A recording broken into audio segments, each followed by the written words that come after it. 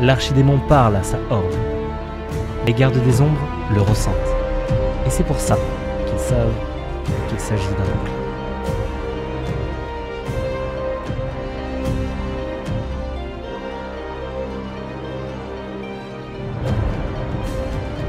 Jader tombé, Orzamar sauvé.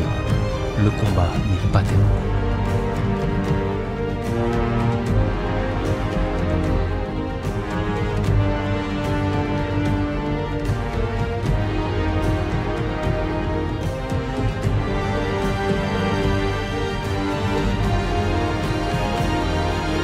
Il ne peut y avoir de paix. La paix n'a jamais été une option.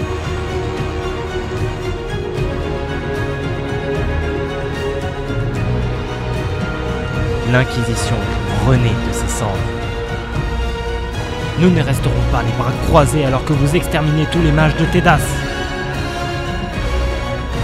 Pour Orlaïs, pour Ferelden et pour la garde des ombres, battez-vous!